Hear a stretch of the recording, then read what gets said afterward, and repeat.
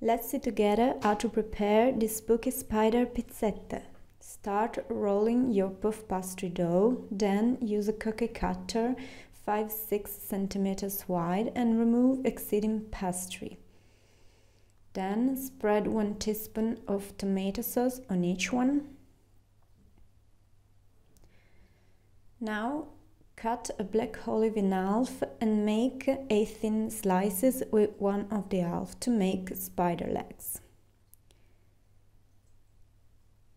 Now cook in the oven 12-15 minutes at 180 degrees and your pizzetta ready, so happy tasting!